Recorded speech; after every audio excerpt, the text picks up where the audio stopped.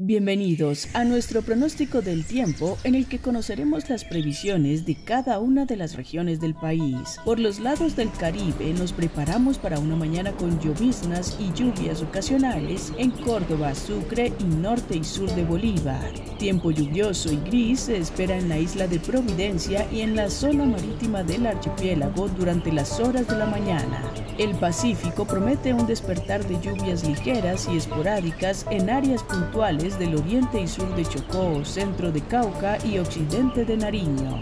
Precipitaciones importantes en zonas de Antioquia, Santander, Risaralda, suroriente de Boyacá y Cauca y en el oriente de Cundinamarca y Huila. En zonas de Vichada y el centro y oriente de Arauca se anuncian precipitaciones intensas, lloviznas en el suroccidente y nororiente de Casanare y en el norte y occidente de Meta, precipitaciones notables en Guainía y de corta duración en el centro y occidente de Caquetá y de Putumayo.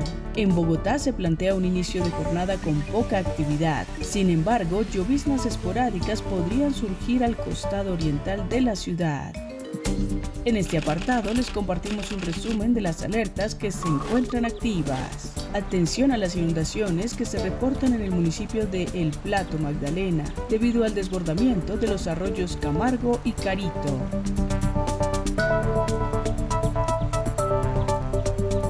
La probabilidad de incendios se mantiene alta en Nariño, Cauca, Valle del Cauca, Huila, Cundinamarca y Tolima.